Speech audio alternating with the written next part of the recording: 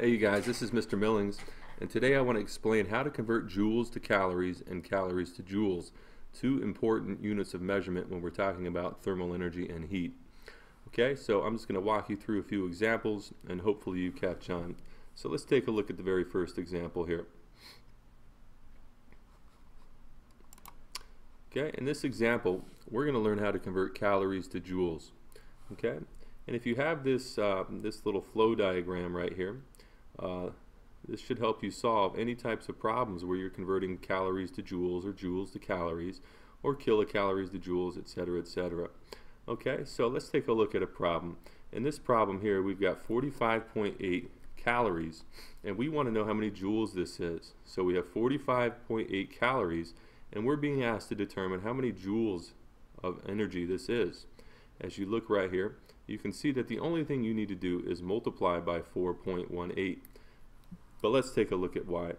First of all, you should know the, uh, the conversion factor uh, for calories in joules. Okay? What I mean by that is that you should know that one calorie is equal to 4.18 joules of energy. These guys are identical. It's like saying one foot equals 12 inches or 12 inches equals one foot. They're identical. They're equivalent to one another. Okay? So in this problem here, we've got 45.8 calories, and we want to know how many joules this is. So let's go ahead and set this problem up. In this problem, we are starting off with 45.8 calories. And we are being asked to figure out how many joules of energy this is. Alright, so here we go. Now if you take a look, we have the unit calorie on top right here. We want to cancel out this unit of calorie and so in our equivalent statement in the next step we're going to go ahead and put calories at the bottom so that way they can go ahead and cancel out and we're going to put joules on top. Okay?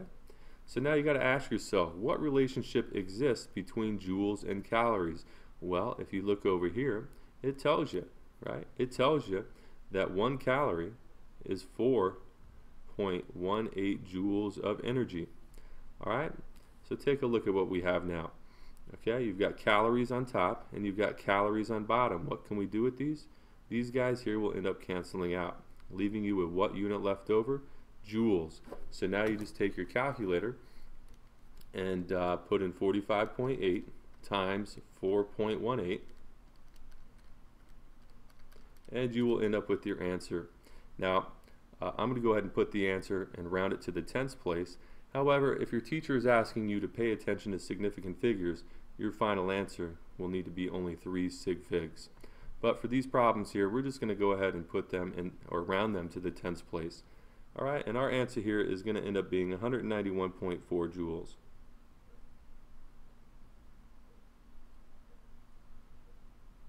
191.4 joules. Alright, so what does this answer mean? Well, this means if you've got 45.8 calories, that is going to be the same thing as 191.4 joules. Let's take a look at the next example. Okay, in this example here, we're going to do the exact opposite.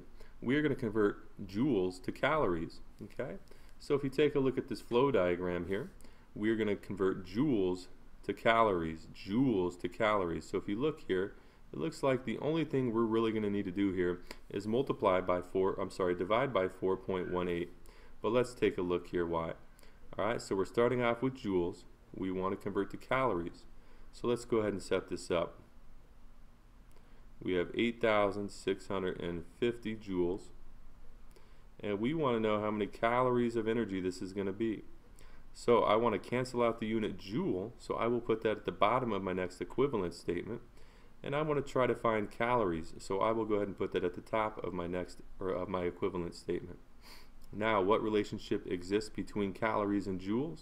Well you know that one calorie is 4.18 joules. Okay so now that 4.18 is on the bottom we will ultimately end up dividing. Okay so let's go ahead and do that. We have 8,650 divided by 4.18 and our answer is going to be 2069.4. Well, 2069.4 what? What unit should we attach here? Well, as you see here, joules is on top and joules is on the bottom, so we can cancel out, leaving you with the unit calorie left over. So there we go. And that's our final answer. So 8,650 joules is the same thing as 2,069 calories, or 2,069.4 calories. Let's take a look at another example here. Okay, in this example here, if you take a look, it says that we are going to convert kilo, kilocalories to kilojoules. Alright, so we're starting right here at kilocalories, and we want to go to kilojoules. So this looks like it's going to be a three-step problem. The first thing I'm going to need to do is multiply by a thousand. That will convert kilocalories to calories. And then we need to multiply by 4.18. That will turn the calories into joules. And then we need to divide by a thousand. That will turn the joules into kilocalories. So let's go ahead and solve this problem here. So in this problem, we've got 90 kilocalories. And we want to know how many kilojoules this is going to be. So, very first thing I'm going to have to do is cancel out kilocalories and convert it to calories. So now you got to ask yourself, how many calories are there in a kilocalorie? Well, the prefix kilo, people, means a thousand. That means that there are a thousand little calories in one kilocalorie.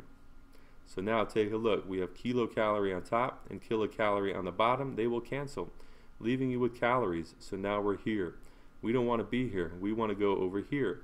So we have to set up our next equivalent statement. We want to cancel out the unit calorie, so that will go at the bottom of our next equivalent statement. And we're trying to find joules, so that will go on the top. Now ask yourself what relationship exists between these two units. Well, you know that one calorie is the same thing as 4.18 joules, right? So take a look at what happens. You got calories on top, calories on bottom. They cancel, leaving you with joules. So now we're right here. But we don't want to be right here. We want to figure out how many kilojoules this is. So what we have to do is come up with another equivalent statement. We want to cancel out joules, so that will go at the bottom of our next equivalent statement. And we're trying to find kilojoules, so that will go at the top. Now you got to ask yourself, what relationship exists between these two units here? Well, once again, the prefix kilo means a thousand. That means there are 1,000 joules in a kilojoule. Okay? So take a look at what happens here. If you take a look at what happens, we have joules on top and joules on bottom that will cancel out, leaving you with kilojoules. I'll put the final answer down here. So now we just get our calculator out and we take 90 times 1,000 times 4.18 and divided by 1,000. But if you take a look, you've got a thousand on top and a thousand on bottom. What can you do with these two? These can cancel out as well. So ultimately, all we need to do is take 90 times 4.18 and we'll get our answer 376.2.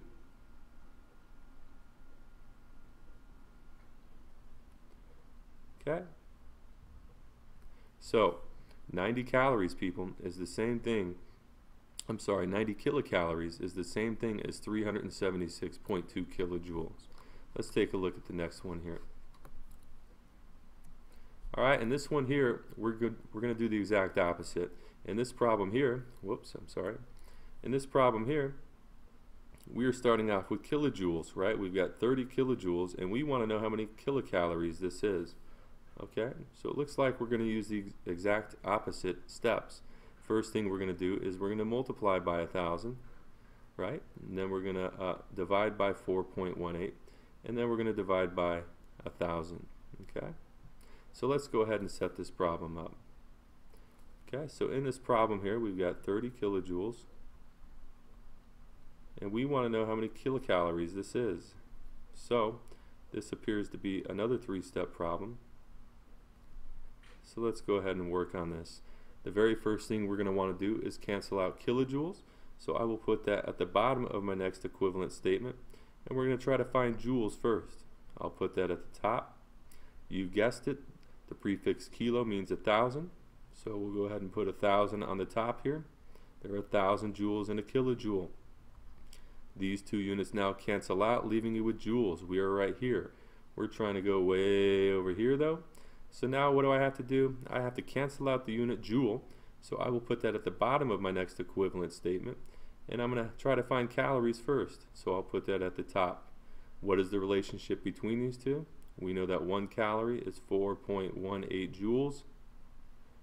Take a look at what happens. We have joules on top, joules on bottom. They cancel, leaving you with calories. So now we're right here. But we don't want to be right here. We want to go to kilocalories. So in our next equivalent statement, we're going to have to cancel out calories. So we'll put that at the bottom. And we're trying to find kcal or kilocalories. So I'll put that at the top. What relationship exists between these two? Well, once again, the prefix kilo means a thousand. There are 1,000 calories in a kilocalorie. So take a look. We have calories on top, calories on bottom. They will cancel. Also, look at this. We have a thousand on bottom here, and we have a thousand on top right here. These units will also cancel out. So essentially, all you need to do is take 30 divided by 4.18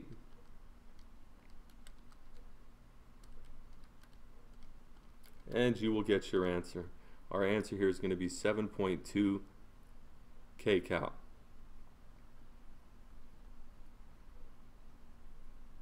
Whoops. 7.2 kilocalories. Let me erase this here.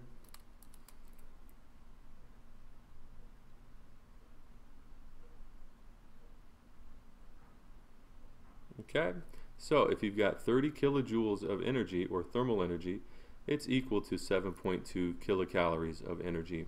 Let's take a look at one final. Alright, in this example here, we're going to try to convert calories to kilojoules. So, in this problem here, we are starting off with calories, and we're trying to find how many kilojoules of energy this is. So, as you see here, we're going from left to right. This is going to be a two-step problem. So let's go ahead and jump in here and tackle this problem here. Don't let the uh, scientific notation scare you. We got 5.6 times 10 to the second calories and we want to know how many kilojoules this is going to be so this here it looks like is going to be a two-step problem we want to cancel out the unit calories so that will go on the on the bottom of our next equivalent statement and the very first thing we're going to have to do is convert it to joules that will go on the top right we know that one calorie is 4.18 joules Calories will now cancel out, leaving you with joules. But we don't want joules. We want to be over here at kilojoules.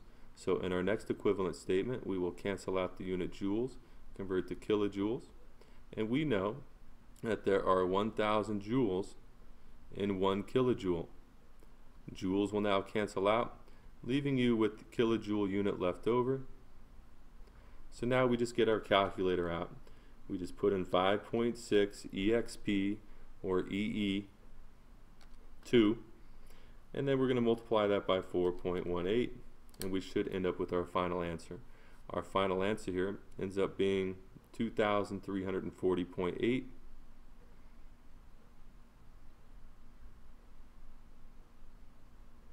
kilojoules, right?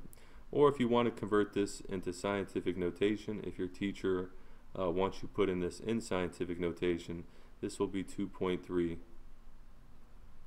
times 10 to the third kilojoules. Okay, so either one of these two answers here should be acceptable. I hope this was helpful. Have a good day.